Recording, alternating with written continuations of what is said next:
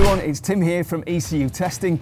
In this video, I'm going to let you in on one of the common reasons for binding or sticking brake calipers on the Ford Fiesta built between the years of 2013 and 2018, and what you can do to fix these issues. Brakes binding or sticking on a modern vehicle is more common than you might think. The fundamental mechanical design of the brake system hasn't changed much over the years, which means almost every vehicle is susceptible to a mechanical brake caliper malfunction at some point in its life.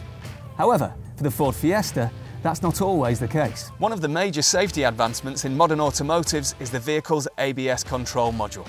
These electronic control modules have become extremely complex over the years, hosting an impressive list of functions in a very small package. The only downside to this is that they have become very susceptible to failures, just like this MK100 fitted to the Ford Fiesta.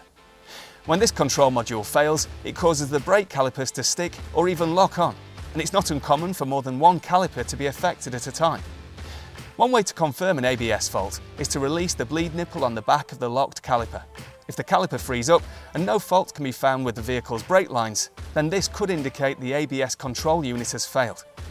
One thing to note with this failure is that no fault codes will be stored in the control module, nor will any warning lights be illuminated. At this point, there's usually only one option to resolve the problems, which is to purchase a brand new ABS control unit from the dealer at a huge expense. However, here at ECU Testing, we're able to rebuild your original ABS control unit for a fraction of the cost. We ensure that all of the original design flaws are completely eradicated, as well as reinforcing potentially faulty components to ensure the unit doesn't fail again later down the line. Remember, we're always here to help, so drop us a comment if you've got any questions, and if you'd like to send us your unit, please visit our website for more details. Thanks for watching. We'll see you in the next video.